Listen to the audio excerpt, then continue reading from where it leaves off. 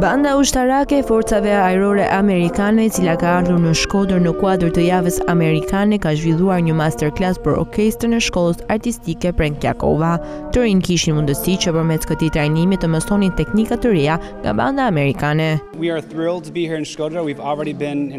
Prej disa kohësh ne kemi ardhur në Shqipëri, më parë ishim në Tiranë ndërsa tani ndodhemi këtu në Shkodër. Gjatë këtyre ditëve ne kemi takuar disa muzikantë dhe ishte një eksperiencë e veçantë. Sot ne do të punojmë me orkestrën e shkollës Prenk Jakova.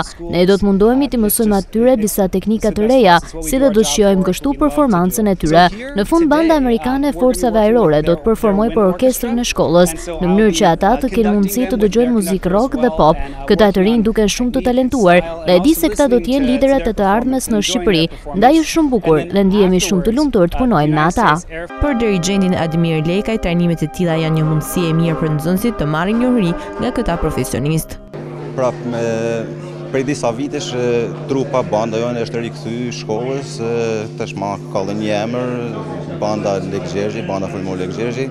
Krahas aktiviteteve të vitit shkollor, sot na nderon me pjesëmarrjen e tyne dhe trupa e forcave ajrore, ku siç dihet do të kemi një masterclass, dihet që profitojmë ne, po profitojnë kryesisht dhe nxansit.